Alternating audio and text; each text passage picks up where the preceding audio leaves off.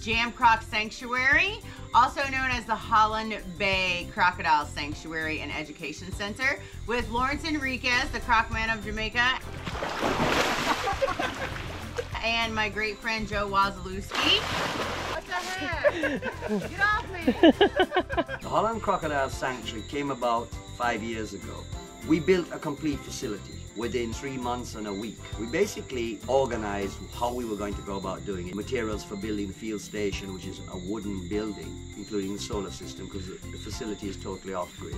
He slept in his truck outside the entire time uh, and worked every day in every single aspect of this uh, sanctuary he was involved with. Sit. Come here. Jesus, before they cut the food up low. There's no road.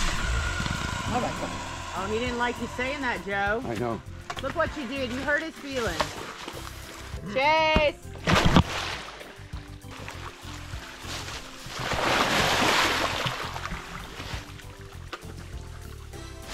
What has happened over the last 50 years in Jamaica is vast amounts of what were traditional crocodile habitats on the south coast of the island. Many of these areas have now been taken over for development, whether it be housing or other forms of recreation. Resorts. resorts. As a result of this, approximately 80% of what was considered wetland, coastal wetland habitat and also inland wetland habitat have basically disappeared or been very badly compromised. And crocodiles being an apex predator require large areas of wetland in order to exist. The only place American crocodiles will nest in Jamaica are sandy, sunny, secluded beaches on the south coast. And, and this place right here, this sanctuary, is the last vestige of the genetic continuity of American crocodiles in Jamaica.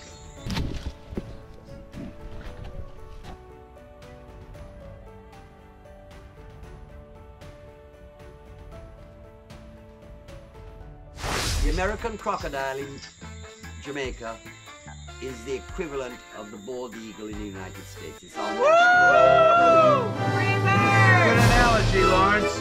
it is our national animal. Right. It is found not only on our coat of arms, it is also our currency. So it has been recognized.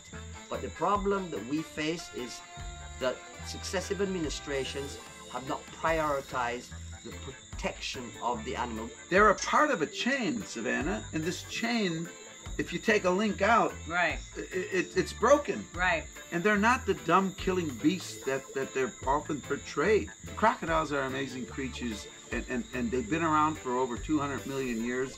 We hope to keep them around for a couple more generations here in Jamaica. How many crocodiles to date have been released from the Jam Croc Sanctuary? Over the last two years, um, we released approximately 75 young animals between three to four years old. And they have been data collected from measurements, microchipped, health checked, health screened, and then they've been put back into the wetlands. Yeah.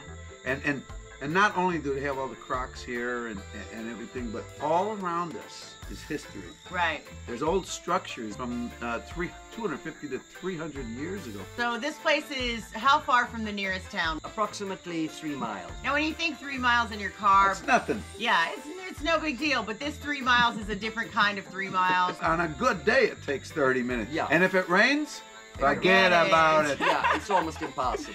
Since the cane industry closed down, the factory actually ceased operation, which is on the other side of the river.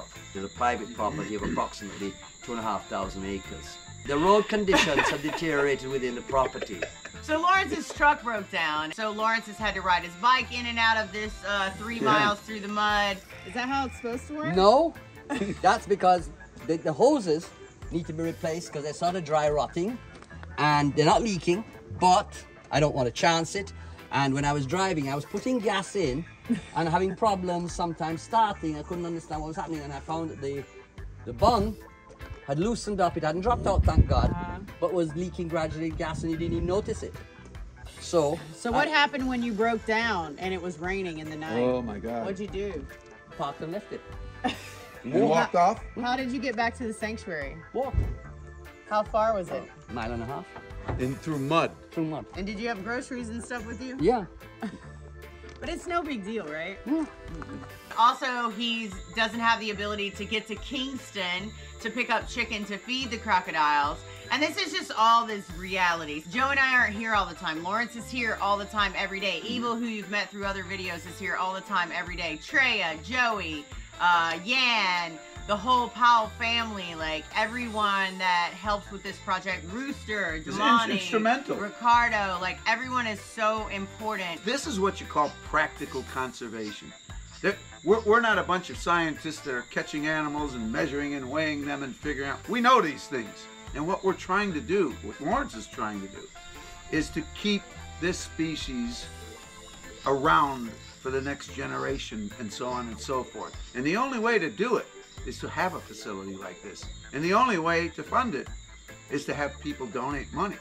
Lawrence is spending his own money Approximately out of my own pocket, close to a hundred thousand US. To Now that's a nest facility. egg, folks. That is a nest egg, and, and he shouldn't have to do that. Some of you guys watch because you just want to see cool crocodiles. And to be fair, I want to see cool crocodiles too. Will we see Every any? single day, yes!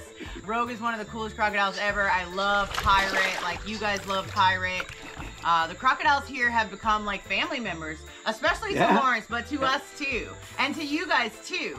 So, I don't know. Think about it. If you have any great ideas, post them in the comments below. Like, I'd love Mm-hmm. to hear from everyone. Um, and if there's something that we use, like, we'll let you know. And, you know, also we have an intellectual consortium back in Kingston. Everyone there is, is working just as tirelessly as we are. So we're really happy to be a part of this Gatorland Global project. And let us know how you think it might be great for you to be a part of it too even if that's just a great idea or a thumbs up and subscribe to this video. Thank you guys so much. Here's some more jam crocking. We can't get through. No! Don't do that. Oh! Rude. He told Rude. you, Lawrence. Rude. You're walking by? Uh, maybe. I feel like maybe he's in a bad mood now. Isn't it bad? Oh, Jesus. Who's doing Oh, no, no, Ah! Joe wasn't so light-footed. All right, hold on. Go now. Two. That's Savannah. Your turn. Hold on. Tell me when. Hold on. he's coming. No, he's coming. Hold on. Go now. Go, go, go, go, go. Savannah, come, come. Ah!